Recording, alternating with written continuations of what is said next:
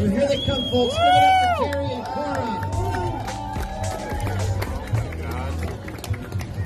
Senator Cora Horrible, that some of you may know as Office Cora, and relax with Little 5.5 morning show. She's been able to check many things on her bucket list, including skydiving, swimming with sharks, parasailing over the ocean, and now, guess what? Rappelling off of a large building.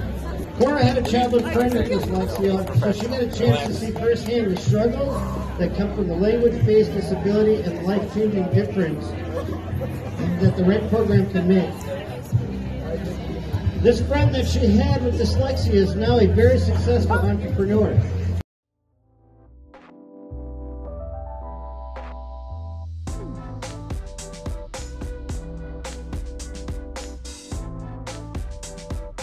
Well, folks, what it's been when you got two people from radio stations, I-94 and WAXX 104, that they love something so much, they don't just talk about it, they do it themselves. I think this is great. A big hand.